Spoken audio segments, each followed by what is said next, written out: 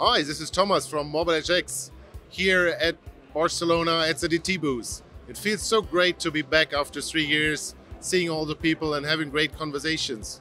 For us as MobiledgeX, we had a few quite important announcements here at the show. So we talked about a federation trial we did together with Telefonica and Singtel and the Bridge Alliance, federating two edge platforms, allowing application developers to easily deploy their application with one operator and having that federated to the other operators' edge infrastructure.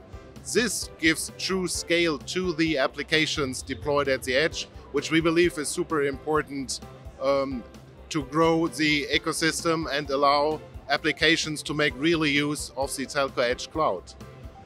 Along with that, we also announced together with a lot of operators like Deutsche Telekom, infrastructure vendors, uh, cloud providers, and application developers the open source project Camara Telco API Alliance. In that project, we work together with all those stakeholders to develop easy to consume service APIs exposing network capabilities.